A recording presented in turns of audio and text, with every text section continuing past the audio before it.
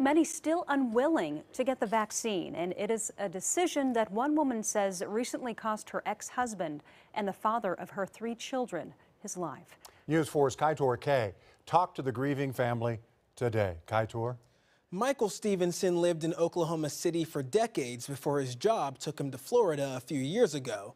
And that's where he died of COVID this month, never getting the vaccine because he thought it was a government conspiracy. And a shot would have saved him. A shot would have saved him.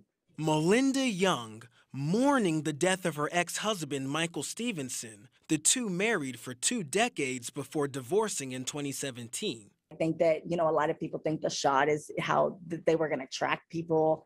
You, the government tracks people or they're they're trying to take too much control. Even after his own father died of COVID in April, Michael still didn't get vaccinated. Two months later, he was admitted to the hospital. Within 48 hours of being admitted, he wished he would have got the shot because he was already that miserable as far as how he was feeling. His body was hurting. He couldn't breathe, and he he he wished he would have gotten it. His family in anguish as he fought for his life on a ventilator. It was such ups and downs and so many hopeful moments that that I can't even explain. That we just thought he was going to make it. We thought he was going to make it. A week and a half later, doctors asked to pull Michael off of the machines, Melinda having to make the tough decision. It was the worst thing I've ever done in my life. And now she's pleading with those of you watching at home to get the vaccine.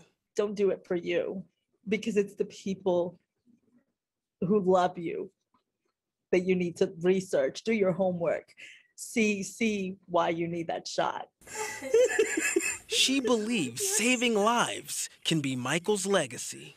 We promise he would not die in vain. The lives will, no one that we can touch will go through what we went through because no one deserves it. After Stevenson's death on August 3rd, one of his sons, who was also choosing to not get vaccinated, finally went and got the shot.